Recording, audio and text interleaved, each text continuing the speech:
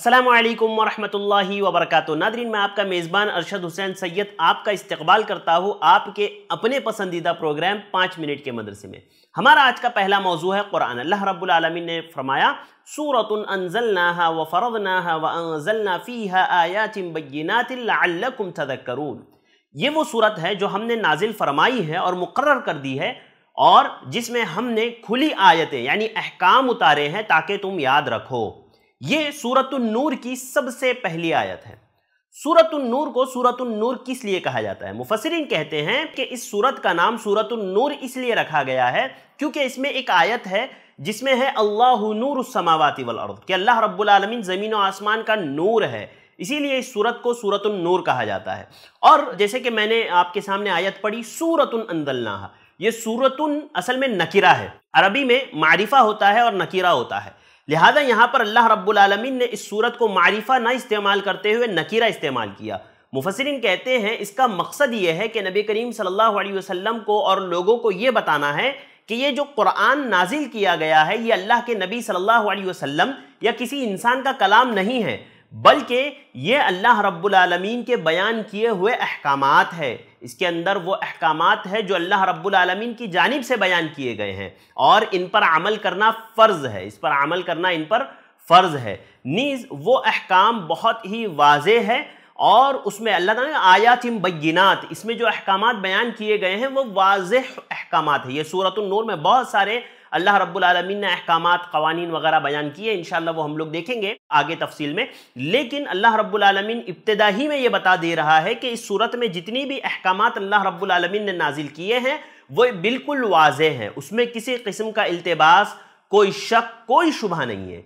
हाँ और ये बताना चाह रहा है कि ये वाज आयात है और इस पर उम्मत मुस्लिमा का अमल करना बहुत आसान है और इस पर अमल करना उनके लिए फ़र्ज़ है।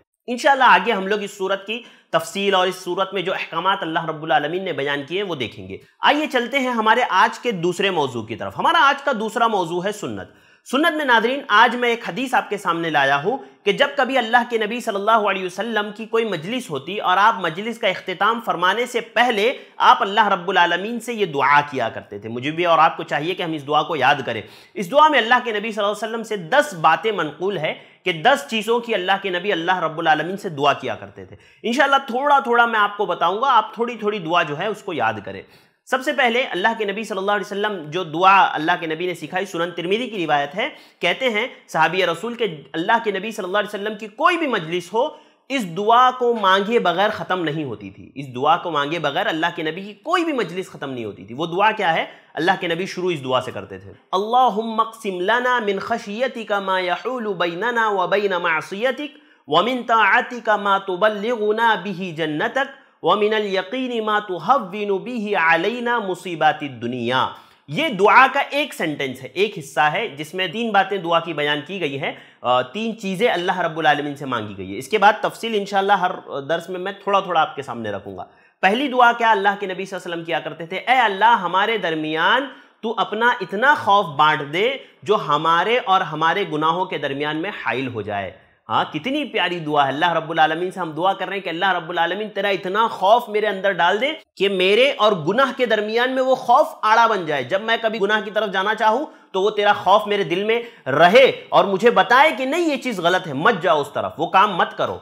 तो बहुत बेहतरीन दुआ अल्लाह मिन खशियती का मा यहूलु बैनना व बैन मासीयती और दूसरी दुआ करते व मिन ताआती का मा तुबल्लिगुना बिही जन्नतक। और हमारे दरमियान में अपनी इताअत व फरमाबरदारी का इतना जज्बा पैदा फैला दे जो हमें तेरी जन्नत तक पहुँचा दे। और तीसरी दुआ करते व मिनल यकीन मा तुहविनु बिही आलना मुसीबात दुनिया।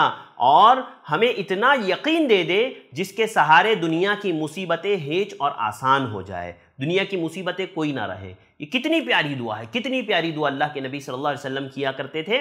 मुझे और आपको भी चाहिए कि हम इस दुआ को याद करें। मैं इसीलिए थोड़ी थोड़ी आपको दुआ याद करवा रहा हूँ। आप इस दुआ को याद कीजिए ताकि जो है ये दुआ मेरे और आपके लिए कारमद हो। नादरीन हमारा आज का आखिरी मौजू है वजीफ़ा। वजीफ़े में एक इस्तफार मैं आपके सामने रखता हूँ। आमतौर से होता है ना, लोग पूछते भाई, कौन सा इस्तफार पढ़ना चाहिए? कौन सा जो है, अल्लाह के नबी वसल्लम दिन में सत्तर से ज़्यादा मरतबा इस्तफार किया करते थे तो हमें कौन सा इस्तफार करना चाहिए? तो देखिए, मैं एक इस्तफार आपके सामने रख रहा हूँ, आप ज़रूर इसको याद करें। इस्तफार क्या है? अल्लाह के नबी वसल्लम ये इस्तफार किया करते थे, अस्तगफिरुल्लाहल्लज़ी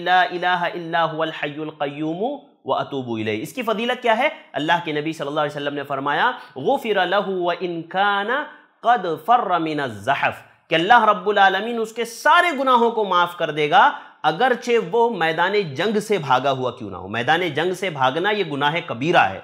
गुनाह कबीरा है। अल्लाह के नबी वसल्लम ने कहा कि अगर वो इस इस्तगफार को पढ़ता है अस्तगफिरुल्लाहल्लज़ी व अतूबू इलई इस इस्तगफार को पढ़ता है तो अल्लाह रब्बुल आलमीन उसके मैदान जंग से भागने को, यानी कबीरा गुनाह को भी माफ़ कर देगा तो छोटे मोटे गुनाह तो बदरजौला माफ़ कर दिए जाएँगे। तो ये छोटा सा और बहुत बेहतरीन इस्तगफार है। मुझे और आपको चाहिए कि हम याद करें। क्या इस्तगफार है? याद कीजिए, पढ़िए आप। क़य्यूम व अतूबु इलैहि। ये इस्तगफ़ार है, बहुत प्यारा है, मुझे और आपको चाहिए कि हम याद करें। अल्लाह ताला से दुआ करते हैं, अल्लाह ताला मुझे और आपको इस्तगफ़ार दिन भर में पढ़ते रहने की तोफ़ी अदा फरमाए। अल्लाह रब्बुल जब तक हमें ज़िंदा रख, इस्लाम पर ज़िंदा रख, जब भी हमारा खातिमा व खातिमा बिलखैर हो। आमीन। अल्लाम वरहमतुल्लाहि वबरकातुहू। दीन की बात आम करने में आई प्लस टीवी की मदद करें।